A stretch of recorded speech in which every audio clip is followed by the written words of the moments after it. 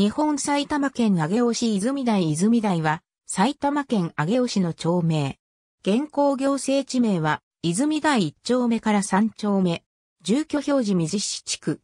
市の統計などでは大石地区で分類されている。郵便番号は362-0062。区画整理により成立した新しい地名である。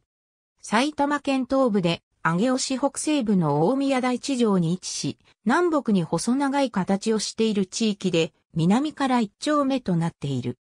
東側を井戸木や中妻と隣接し、南側から西側にかけて小泉、西側から北側にかけて中文、藤波及び桶川市大技下秀屋と隣接する。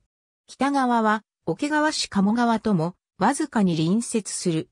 地区の北部を埼玉鴻巣線、南端を上尾環状線が通り、また、都市計画道路の上尾池袋線が南北に縦断する。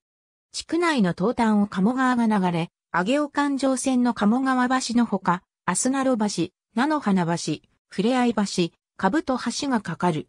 また、株と橋より上流側が暗渠となっている。地区の西側は、上尾市唯一の赤松林を要する大宮ゴルフコースが広がる。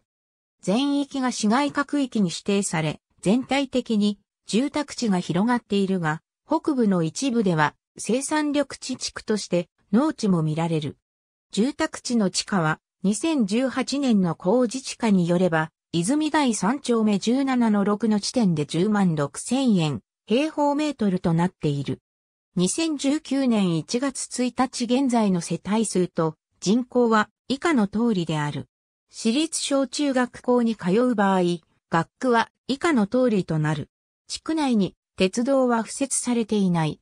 最寄り駅は高崎線桶川駅であるが、泉台三丁目の地点よりおよそ 1.4km 離れている。地区によっては北上尾駅も利用が可能である。地区内には路線バスがなく、コミュニティバスのみの運行となっている。なお、過去に丸立自動車のケンチャンバスが運行され、地内に泉台三丁目バス停留所が設置されている時期があった。ありがとうございます。